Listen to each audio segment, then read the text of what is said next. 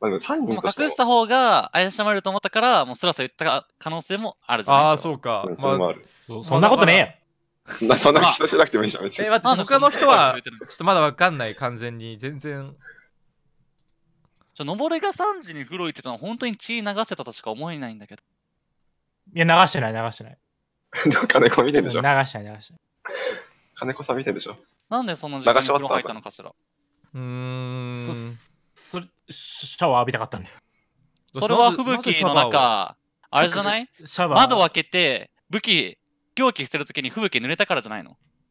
そ、そ、そ、そ、そ、そ、そんな。タコちょっと怪しいないやいや、俺って、ちょっとさ、登るがさ、ちょっとさ、怪しいな怪しいの。なが多すぎよ、登る、ちょっとあなた。タコちょっと怪しいな怪しまれてたのに。ね今他の人めっちゃ怪しく見にえるんだけど流すよね、あなたう。ん。え何このしいや、あの、シャワーを浴びた理由は言えないのね、じゃあ。あ、言えないですね、これは。あ、言えない？はい。私はシャワーを浴びてる。るのね、でもシャワー理由めちゃめちゃ怪しいよ。ね。シャワーを浴びてるっていうのはね、怪しいのよ。なんかすごい、シャワーがね。だって私浴びれなかったから、やっぱり浴びてる人怒るわよね、それはね。うん。だって俺もシャワー浴びたかっただけだし。俺2時に電話ししてただけだし、私。俺まあまだ23時にいやでも私的にはそのもしそこで、その2時のメールその2時のね電話聞いたよって時に誰かのぼるが言ったんだっけ？あ、俺です。それねのぼるが2時の電話を聞いたって話した時にその声が怒ってたとかだったらいやあの時怒ってたよって言うと思うのよ、うん。で、も内容的には萌えと雄三は普通の話っていうかまあおとなしく話したと思うのよね。まあつまり普通に話し声だったね。萌えは雄三を殺す動機がないし、まあ、要はカッとなって殺すっていう動機がないから萌えはないと思うのよ。え、てか、なんで2時に外出てたの？水を飲みたい。水を飲みに廊下に出た際に木下の部屋から話し声がしたんだよ。ねえなんかシートを読み上げるような、ねね脳内のシートを読み上げるように違う話すのやめて。水の飲みに廊下に出た際に、だから木下の部屋から話し声がしたんだよ。まなるほど。あまあまあまあ、ルうんまあ理由はどうであれだから別に殺す理由はないのよね萌えにそうだよ。あ、だ私が萌えはないと思うのよ。私じゃないわよ。で慎吾も、まあ要はその慎吾の言う可能性がある正しいとならばその要は雄三と仲が良かったってことで争ってはいるけども多分好きなのよね多分雄三のことがね。そうだね。そうそうそう。で好きでバッていくような人を殺すのかなっていうとどうなんだろうなっていう。でも断られて怒ったから。ああまあそれもあるか。そんな単純な男じゃないね。おー。なるほどね。だから私的には私か登る。私か登る。私か登る。で私じゃないから私じゃないから登るってこと。分かる？言いたいこと。そうそう。だから慎吾と萌えが消えて慎吾とのぼ、えー、萌えが消えてでめぐみと登るが残るから登るかなっていう。その私の考えとしては、そのまず2時に外に出歩いてたっていうさっきの情報。うん。から3時にシャワーに入ってた。で、加山が殺されたのは2時3時。うん、うんじゃない？でその間に外が歩いてたっていう情報があるのが登るだけなのよ。あ確かに。そうだわ。そうだわ。でそう、よ。3時？窓が開いてて、絨毯が閉めてる。だからそこで吹雪が入ってきて濡れたからシャワーに入ったみたいな。いや、本当に水を飲みに廊下へ出た際に木下の部屋から話が聞こえてきただけだから、うん。うん。だから出たのは水を飲みに出ただけだけど。一応目的はあったとしても、おプラス殺す目的があった可能性はあえる。だから、俺が聞きたいのは、その一晩中扉の開閉音がしてたんだよ、隣の加山の部屋から。うんでもそれは23時にそれが俺だからもうやばい2時3時ってくるたびに笑っちゃうほんとやめてほしいだから、だから外おおそらすんじゃねえ。いいか？ごめんなさい、はい俺は全然聞いてないよ、その開閉音の下りについてみんな。そこは聞いてない。誰か出歩いてる私は目が遠かったから花、うん出歩いてるはずなんだけど。それ23時に1回、慎吾が行ったのとそれ、だけ？だって一晩中って書いてるよ。改変はじゃあ一晩中だから、うん。木下、お前だよな。木下？あ、私ね。見てるぞ、俺は。うん、見てる見てる。な何を見てるの？何を？うん。開けたよな。いつ？いや、これ嘘。これは嘘。見てないけど。い やえブラフ？誰かが開けてる。うん、誰かが開けてるあ。私は開けてないわ。いや開けたのは本人なんじゃない？リビングに行った開けに行くぐらい部屋に行くんだったら私電加山が話加山雄三本人がリビングに行くために開けたんやろ、そんな一晩中パタパタしてからリビング行くのか。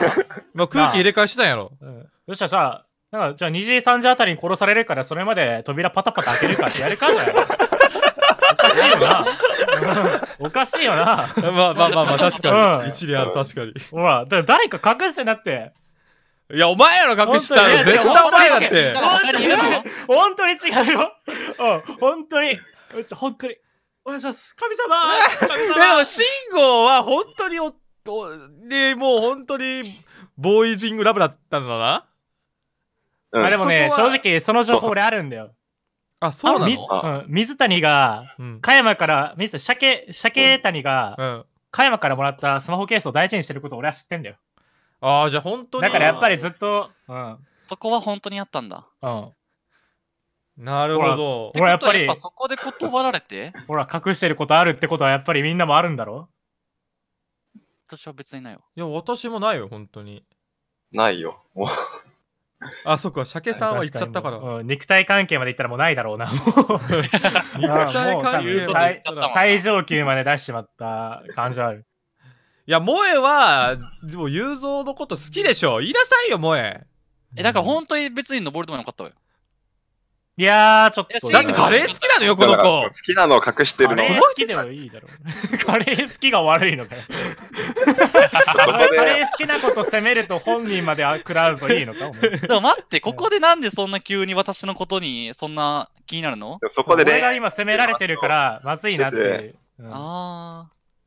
その通話でいろいろ、犯人を見つけたいのよね。電話で、電話で裏切られたととか、加山に。裏切られた？うーん、いや、本当にあの時はもう談笑してただけよ。談笑してた。ああまあでももうまあ別に怒ってなかったんだったらな動機がない動機がないのよ動機があるのが慎吾とでも登るも特に動機ないんだよなないよ、あんなやつ。動機を隠してる、あ動機隠してんのか多分、誰かがあの。そこで慎吾は。登るも好きだったみたいなことある？ああ。いや、三角関係？突飛すぎるな。ボーイジングラブ三角関係。加山愛されすぎだろ。あいつですあー終わっちまった。や、わかんない。ということでまあさすがにこれ以上の延長はうん。なしで、じゃあ今からまあ一斉ノーデで犯人だと思う人、まあ、ちょっと推理各自推理する時間3分か4分ぐらい取ります？最後に頭整理する時間、うん。じゃあ3分ぐらい頭を整理して一人で操作する時間を、まあ、作るんでもう一回ざん3分ミュートで考えましょはい。うはい、用意スタート。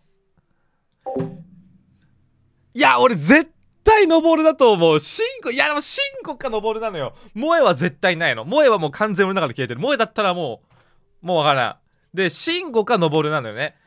ねシンゴか登る。で怪しいえっとシンゴはでもあそこであのもう好きなのって言っちゃったってことはもう動機全部自分からバラしたってことじゃん。で犯人って絶対できないと思うのよねそういうこと。犯人じ僕が犯人だったらそんな殺す理由になる動機をぶっちゃけれないから。で俺の中だとぶっちゃけた時点で慎吾はないんだよな。で萌えでもなく慎吾でもないってなったら登るしかないのよ。だから消去法で全く出てない。全く情報が出てないからこそ絶対に登るだと思う。いやこれ合ってると思うけどな。いや俺これ今回は結構ガチ推理したと思うぞ。多分。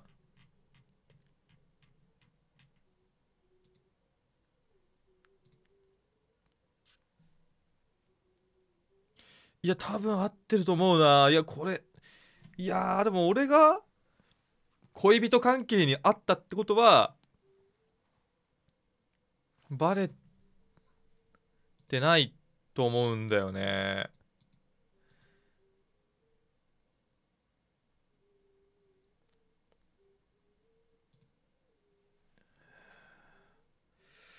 うんまあシャワー浴びてるっていうのが分かんないでもこのでも一番そのさ殺し合いした時間に出歩いてるのが殺し合いした時間に出歩いてることを話したのが2時に行った登る。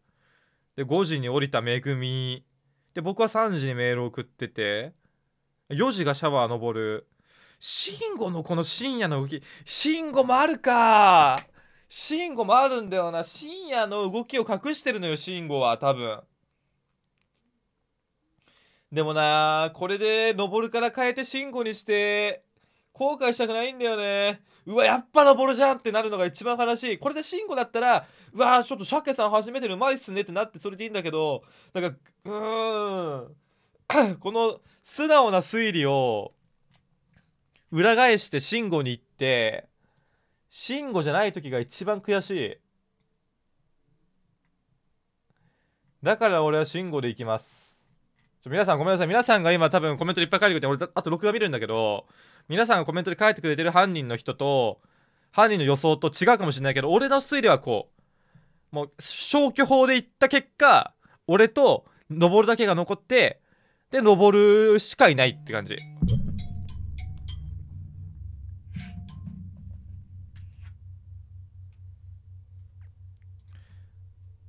はい3分経ちました。ということで投票時間になります。はい。はい。まあさっきと同じようにせーので、まあ、犯人だと思うえっ、と役目の方を本名で、ほ役目の方を口で言ってから、まあ、確認していくって感じで一斉のででじゃあ言いますか。皆さん大丈夫ですか、はもえー、はい。う、まあ、一番最多票だった人が、まあ、犯人として、まあ、捕まる。処刑される。処刑じゃあどうする？一回ディスコードに全員で一気に書いてあそうだね読むか。そうしますか。じゃあ?あ下の名前だけでいいかな下の名前ね。はいえ、もう中身の魂の名前ではダメ？あどっちでもいいよあ、オッケーオッケー。分かりゃいいよね。分かればいいまあどどっちも書くじゃん。どっちも書く。じゃあまあ、分かれ、分かればいいってことで。はいじゃあ、は書きましたら大丈夫ですか、はい、大丈夫ですよ。大丈夫です皆さん書きました？よ。はい。いっせーのでポンおーおーあったな俺が言ってくこれ一応。はい。はい俺は、内壺のぼるさんに入れた。はい私も口つぼの登るが犯人だと思いますはい、私、しょぼすけ犯人に入れました。俺はタラコ木下。恋人ショボって何？えっと、俺は犯人投票の時に、今の恋人を当てないといけないんだけど、加山の。加山の恋人ってことでしょぼすけに投票した。はいそしてシャー君あ俺は木下萌え、タラコに投票しました。はいそれでは、えーこのマーダーミステリーの真相編を開きますか。進行役の人が読み上げあ見てもいいよ進行役の人が、はい。えーこのページを読む前に全員のキャラクターシートを一人ずつ読み上げてくださいあじゃあはい。誰から行く？投票されてない人から言った方がいいんじゃない？そうだねじゃあ私慎吾から行く？いや俺は投票そうだね、慎吾だね。慎吾が投票されたんだよ。慎吾から、えっ、と、公開しても良い情報と隠してめ隠すべき情報とか全部読んでください。はい。上から順に行きます。はい。水谷慎吾、男20歳。男20歳、水谷慎吾？いきます。二十歳なんだ。はい二。十歳。加山の携帯を見たところ、ロックがかかっていたが、あ、加山の携帯を見たね。そうだね。うん、被害者がね。うん。ディスプレイ通知には金子からのメールが3時に届いていることが表示。まあ、これは言った通り。はいであなたは、慎吾は深夜23時頃に会話の部屋に部屋を訪れている。しかし口論になり部屋を出た。はいはいはうん。もう一つ、開くか。パーティー後半、俺配信映してるよ。あ、オッケーオッケー。あ土田が加山に耳打ちしているのを見て、実は土田が加山に対して好意を持っているのではないかと疑っている。ああ、そういうことだったのか。なるほどね。これか。はい。で、隠すべき情報。はい。はい。あなたと加山は以前に肉体関係を持っていた。しかし、LGBT に対し世間が寛容になってきたといえども、男同士ということから良好なサークル関係を守るため周囲には隠していた。現在も誰にも知られていない。しかし、あなたは加山とよりを戻したがっている。なるあほど。ああね。で昨夜あなたが23時に加山の部屋を訪れたのはよりを戻すため、話をするためだったが、加山から断られたため、憤慨し混乱となった。はいはいはいはい。でもう一つ、加山から最近もらったスマホケースは、まだ自分に気がある証拠だと思なるほど。気があるとなる思ってほどねだけど、問われたと。あ一応これは全部。じゃあ殺してないないです。慎吾は犯人じゃない、おーなるほどね。じゃあ次じゃあ萌えシャー君が投票してるから、一応得点条件を生産しといた方がいいんじゃない、まあでも犯人かどうかまだ分かってないから得点条件はあそういうことか。最後じゃないうん。ということでじゃあ次。土田に対する投票が全体で2つ以上あるから、あこれはじゃあ2ま最低点2点は2点入ってんね。俺がが土田なんで、おめでとう。2点おめでとう。2点おめでとう。おめでありがとうございます。じゃあ続いて、えーはい。たらこ？たらこのやつそうだね多分1票だからあ、そうか。あ俺も一票かまあお互い1票だから。どっちでもいいけどじゃあ、たじゃあらこいく俺から行く？たらこうんいいよ。はいじゃあ読むね。はい。木下萌え、女、20歳。えー公開しても良い情報。えーまず一つ目。えー朝5時にリビングへ降りた際に加山の遺体を発見したうん。で、次。えー深夜2時頃、加山から電話がかかってきたため、眠れないからとしばらく談笑していた。はいはいはいはい。うんで、3つ目。えー明け方に、隣の金子の部屋から扉が開いた音がした。ああ、少ないんだね、結構。少ないしあもう少ないんだよね。ね、元からこんな少ないんだ。だから俺さ、結構聞かれたけど、えどう答えようみたいな。ああなるほどねなるほどだからね。俺結構うやむやだったというか、なんか、なるほど嘘そういうことか自分で考えたんだよね。加山から電話かかってきた。加山から来たんだ。加山からだったんだおい加えー山すげえなあいつあいつやってんやなっ。てる。で、隠すべき情報。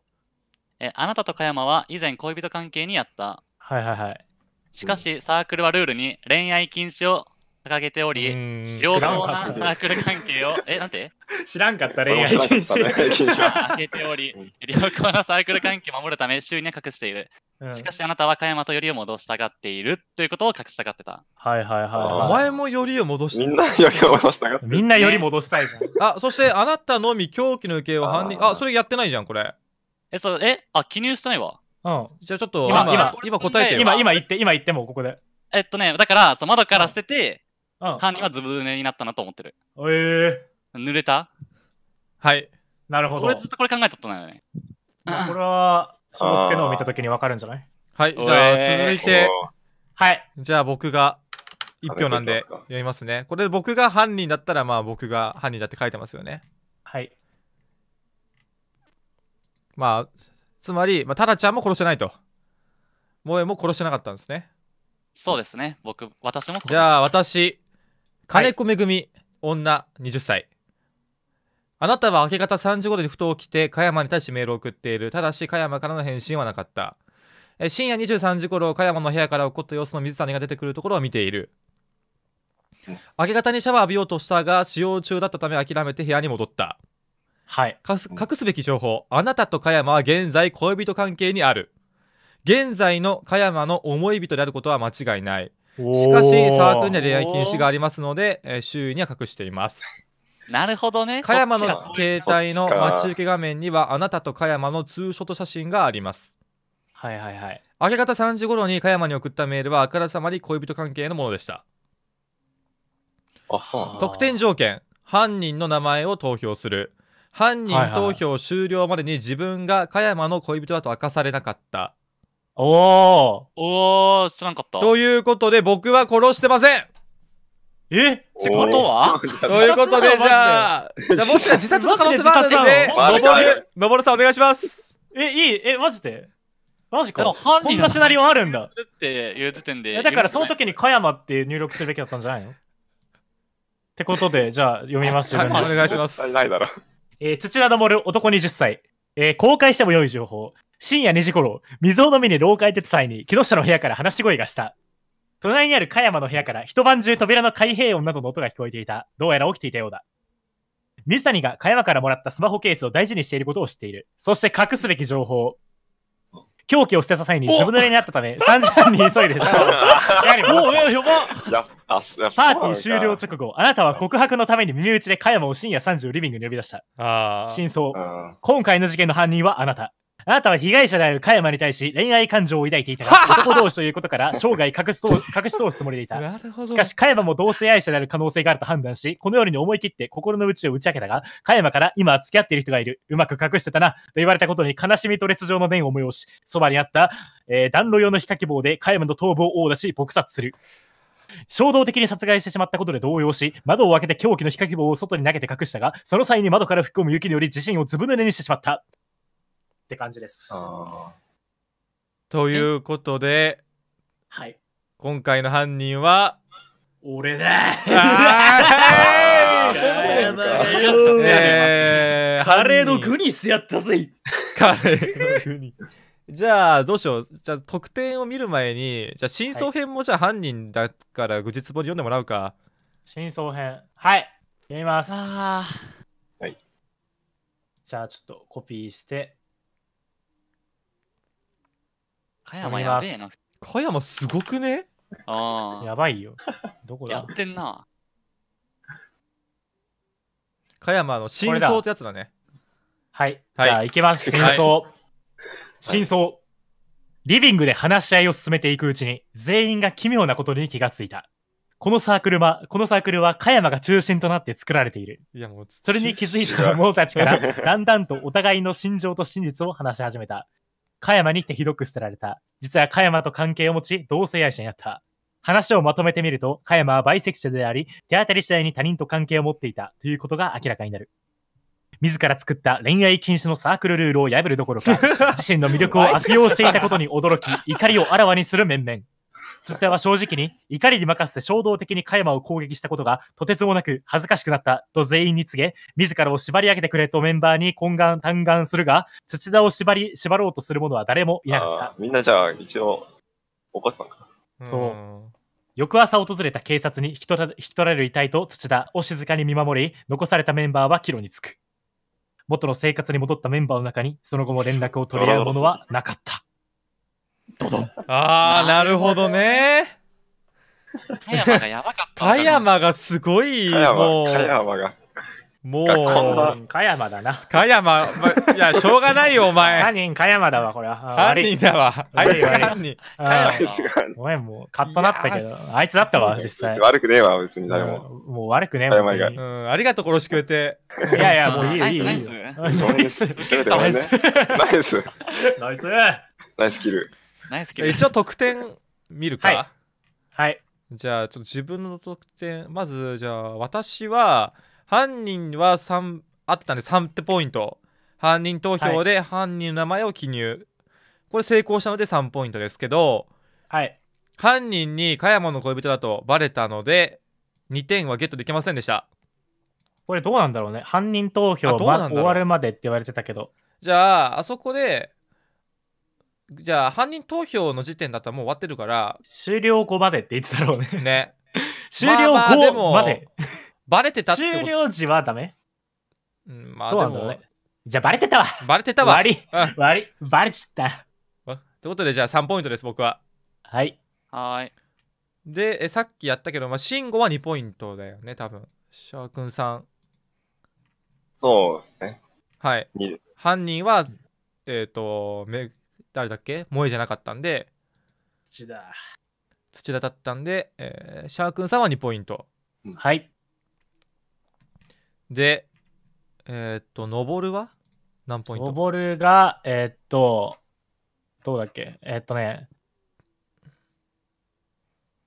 えー、あなたに対する犯人投票数が2票以下であるので3ポイント。そして、加山の恋人、しょぼすけ。合ってたので5ポイント。イエーイ！いやいやいやいやはい。え？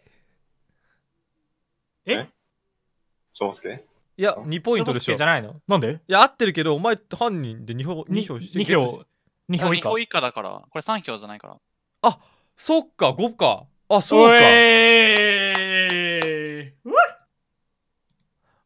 あーなるほど。あじゃあ5あざかあざっす。そしてえーっとタラちゃん。はい。萌えは？何ポイント？俺がまず犯人を当てること？これ合ってるね。これで3ポイント。はい。で、そう、凶器の行方を犯人投票時にあ記入してなかったけど、まあ言い当てた、外にうん、投げた。うん。おお。じゃあ、バッチリだね。じゃあ5ポイント。5点か。ってことで今回のマーダーミステリー勝者はぐちつぼとたらこ。おめでとうございます。イエーーい。GG あざっす。なるほどあルールによっては負けてたね、これ絶ー対。そうだね最多得票だから。ああ、よかった、このルールでもう。い犯や人しかやってないよ、俺、このゲーム。2回とも犯人じゃねえうんかおかしいんだけど。いや、でも、鮭さん初めてだったけど、なんか、普通になんか。うんねいや、思ったより、もっと日常的なのかと思ったけど、全然、うんいや、もう、ありえないことだった。確かに。それは、それはもうみんな思ってると思う。いやあんねいくつかマーダーミステリーやってるけど、はい。ここまで肉体関係ぐちょぐちょなのないよ、うん、ドロッドロだった。うん、よかった、本当に。鮭さんとか配信してたらこれやばかった。やばかったよ。よかったね。NHK じゃなくなっちゃうもん。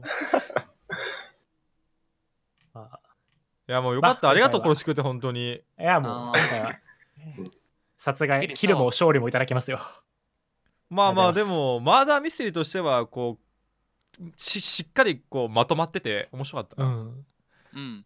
最終的にちゃんとどんどんなルートでも警察に持ってかれるっていうこのそうだね感じもねねうん、ちゃんとやっちゃいけませんよっていう殺しちゃダメですよって殺しちゃダメですよっていうね話ですよどうでしたシャークンさんやってみて？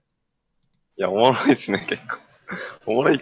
なんか途中、最後、しょぼすけさんはないなと思ったんですよね。なんか、ああはいあはいはい。で、三つさんと迷ってて、あシャワーがあからさますぎて、さすがに、あー裏読んじゃったってこと。かさすがににそう言ってたもののないや、ないやろうと思って。露骨になんか目の前に出されてるとちょっと 疑ってかかっちゃうみたいな。そうそうそよかった。う。でルーレットがあまり、あまりに前しすぎて、え、クソって思ってただったっていう。そうだでね、田中さんにしたっていう理由です。ーよかった。えタラコはどうだったのこれ？え？いや、俺的には満足かな。もう、立証狂気について考えとったし、俺だけだったなんだよね。今回多分、めっちゃ考えとったの。いや俺も考えてたよ本当に？ああれだよね、うんその目標得点目標にその狂気の行方とかっていうのを推理するっていうのがあるからそう、俺はそこをめっちゃ考えてたって。あー絶対なんか狂気の行方が散りばめられてるんだろうなっていうのはなってたんだろうね。うん。あと、なんだろう、存在しないものは狂気になってないみたいな。そうそうそうそうそうそうう。ん絶対ひ引っ掛け棒だっけ？ヒカキボ。ヒカキボまあだから愚痴ツボはまあ、2の情報を開けた時にうん。そのまま普通に読んじゃったのかなこれ多分あ待って、見いていい、もう、嘘ついたら、嘘つけないよ、これ、正直。うん。もともと考えてないことなんですけ。そうそうだね絶対、うん、無理、これは。まあそうだねちょっと難しいな確かにもうそのまま読んだよ。まあでもこれはでもまあ嘘つけてたらまた変わったのかもなっては思うけど、ね、俺は分かんなかっただろうねここはかなりいるよあこ。れ嘘ついたらもうじゃあタラコさんは無理だ。あ、そう、タラコは多分そうだね1も2もどっちか嘘つかれてたら無理だったと思う。そう、あ確かに確かにどっちも、確かにどっちもどっちも狂気関連の情報だったから。ああ。まあそうだねなるほど、まあ、こういうマーダーミステリーもあるんだな蓋を開けてみる前どういうもんどういうものが来るか分かんないっていうのも面白いよね。そううんなんか前回3人でやったのは密談って言って2人で話す時間があるやつで、はいはいはい。はいそれもそれで面白かったんだけど面白かったね、あれ。うんあまたいろいろやってみたいんでまた呼ばせてくださいそういうの面白そう。次回のマーダーミステリーでお会いしましょう。お会いしましょう大丈夫ですか？じゃあ締めますかはい。じゃあ犯人の方締めてください、はい。えー、やりー バイバいやイ雑雑。ありがとうございました。また次回のマーダーミステリーで会いましょう。ご視聴ありがとうございました。ありがとうございました。バイバイ。あ感想はネタバレ書かないようにしてください。確かに。そう、一応これはい。知っちゃうと二度とできなくなっちゃうから、このゲームは。はい。うんふわっと書いてください感想はね本当に。ふわっとはい。なんか書くようにしてくださいねツイッターには。じゃあお疲れ様でした。配信切ります。と締めてきます。はーい。はい僕も締めてきますということで皆さんご視聴ありがとうございました。あ待って待ってサブスク限定外すわ。はい皆さんサブスクじゃない方こんにちは。しょぼすけです。サブスク限定チャットを行ってましたが今外しました。皆さんご視聴ありがとうございました。いや面白かった。けどすごいやっぱりドロンドロンだったね。こんなにドロドロするストーリーもあるんやなって思ったわ。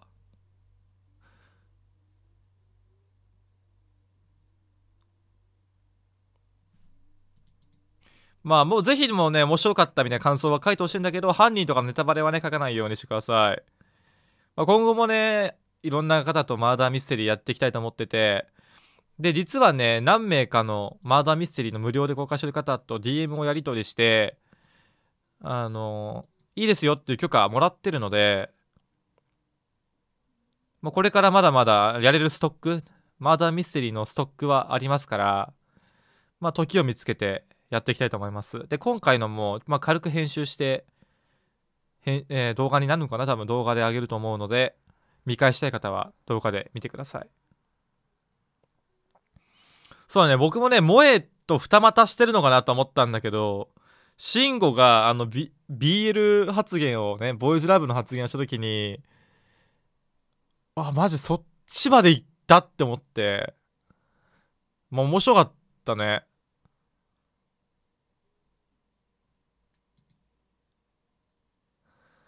うんまあ、ぜひとも皆さんもね、マーダーミステリー、まだね、配信で見てないシナリオやってみてください。また、後でやりましょう。この後少しした後に、まあ、パブ G やると思います。カスタマッチは人集まればやるけども、パブ G 配信をちょっとやりたいと思ってるので、そちらも見てください。それではまた次回